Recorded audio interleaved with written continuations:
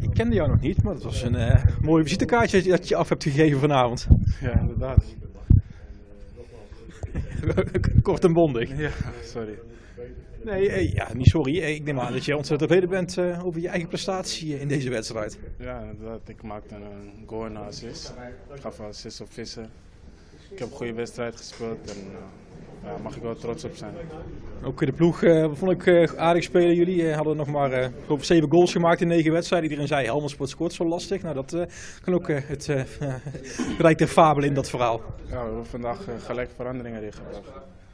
Had je dat verwacht? Zeker toen ook Vicento uitviel na 10 minuutjes. Toch de man die regelmatig scoort bij jullie. Toen ineens ging het helemaal los. Ja, nou, we hebben nog meer spelers die doelpunten kunnen maken en dat heeft vandaag gebleken. Ja, inderdaad. Eh, Dat, dat zagen we inderdaad. Onder jij. eh, kun je even je doelpunt eh, omschrijven? Ja, het was eigenlijk meer uh, voor mij een verlossend doelpunt, omdat ik na acht wedstrijden heb ik nog geen doelpunt gemaakt. En dat gaat dan wel aan aanvallen knagen. Vandaag was het eigenlijk verlossend. Ja, hoe, hoe voel je je dan? Ja, ik zie je helemaal stralend hier staan, dus ik kan het wel een beetje invullen, maar toch? Ja, ja, nee. Eigenlijk na het doelpunt kwam ik eigenlijk helemaal los. Ik ging ook makkelijker voetballen, alles lukte, alles zat mee. Dus ja, dat heeft eigenlijk, eh, heb ik eigenlijk aan het doelpunt te danken, denk ik.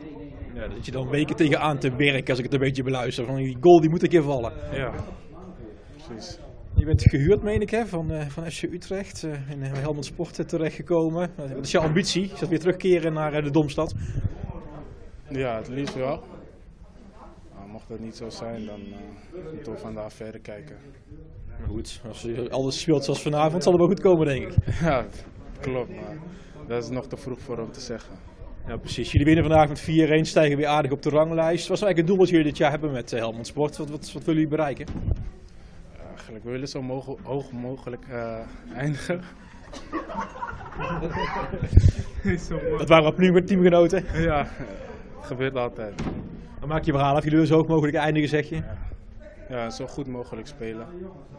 En ja, gewoon zo, zodoende als team verder ontwikkelen. Meer doelpunten maken. Dat is meer. ja, dat was het eigenlijk.